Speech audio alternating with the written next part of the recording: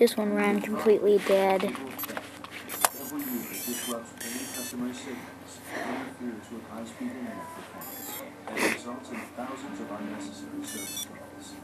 solution? CableTheft.com, an internet reporting site where honest subscribers can report cable theft anonymously. Just log in, no questions asked. You're paying for cable. Why shouldn't everyone else? Report cable theft anonymously at. Opening statements today in the trial of a man whose defense team once called him, claimed that a spray tan might have killed his wife. Seems the story has now changed. The defense is now arguing that the man's wife died of heart failure, not spray tan something or other.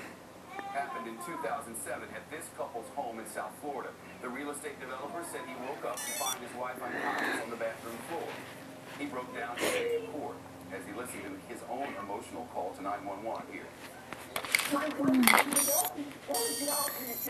See, that's the bad thing about if you have a clear and a solid. They don't interact that good at all.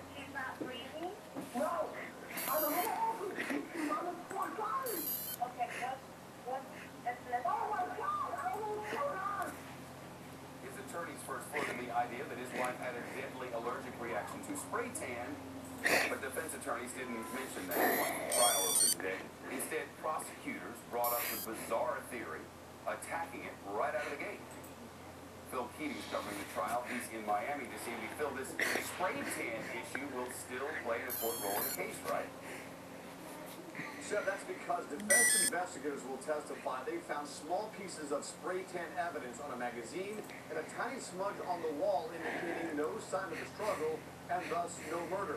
Inside the courtroom today on day one of his murder trial, Adam Cup, Adam Kaufman appeared quite confident that the defense thrust now is that Alina Kaufman's own medical condition caused her to collapse on a bathroom magazine rack, which thanks to gravity, oh, accidentally He punched through the computer. The bottom line is the state cannot prove beyond a reasonable doubt that a crime was even committed in this case. The state's evidence is weak, conflicting, inaccurate, and we cannot charge the elements of this case. And defense attorneys aggressively cross-examining today, saying rookie mistakes boxed this investigation from the start, and that paramedics took a full half hour just to get to the scene. Chef. You know, Phil, the prosecutors are arguing that the defense theory of accidental strang- strangulation doesn't mm-hmm. jive with her injury.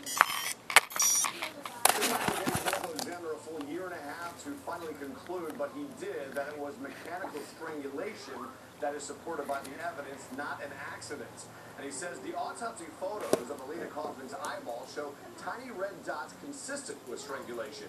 On the stand, first responders testified that Adam Kaufman that What? kept changing his story. I took note of it because it was completely different from the other story that he told. Okay. This time he mentioned Jordan,